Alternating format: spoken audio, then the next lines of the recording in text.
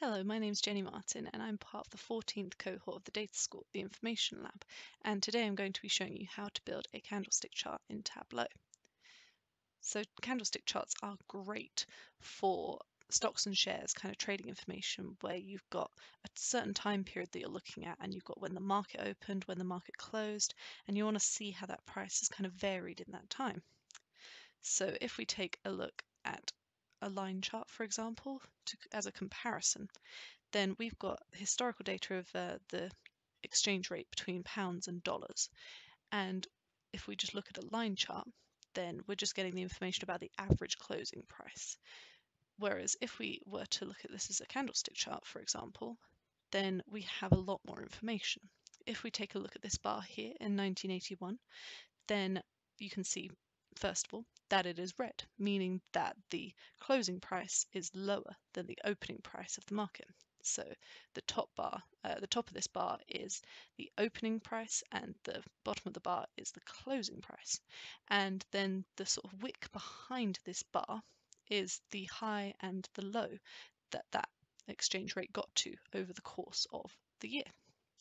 So that's already so much more information displayed and so much more visually um, interesting to look at as well. So let's go ahead and build one in Tableau ourselves. So the data itself is just looking like we have each year, we have the open, the close, the high and the low. So it's all quite a simple data format. We've created two calculated fields where we're just calculating the spread of the high and the low and the spread of the open and close. So let me just show you those. So if we take a look at that, then the high-low is literally just minusing off the high from the low naturally, and then the open close is doing much the same, it's just minusing off the open from the close. So let's go ahead and start building. So we're going to take our year pill and we're going to drag it over into the columns as our x-axis. And then we're going to take our high and our close, our open, sorry, and we're going to drag those onto the rows shelves.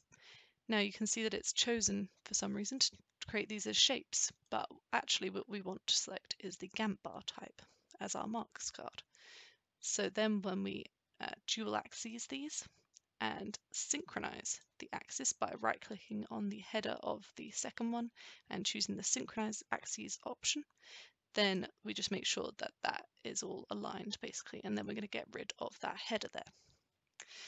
Now, to get these to be lines rather than uh, vertical lines rather than horizontal lines, we're going to need these calculations that we have used. So we're going to first of all take the uh, measure names off of color here because that's not useful for us. And we're going to take the spread high low and drop it onto the size marks card. Now we can see that that has created those bars um, which go will be the wicks basically. So we're going to drag the size right down to the smallest setting and then we're going to do the same for the open close, spread open close, just drag that onto the size and now that's looking much more like the candlestick charts that we had before. We're also going to put the open close onto color and then we're just going to edit those colors to select a better color palette. Now traditionally uh, we would have a red-green diverging color palette but we know that red and green aren't very good for people who have colorblind issues. So we might instead choose to use the red blue.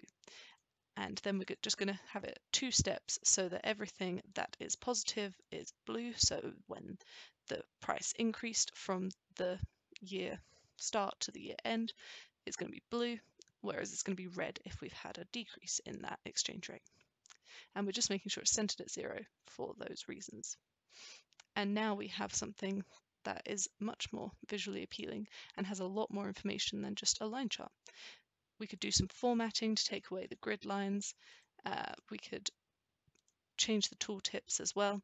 Um, and hopefully, once we've finished playing around with those sort of aesthetic changes, we get to uh, the chart that we see here, which is available on my Tableau public profile. So please feel free to go and download that.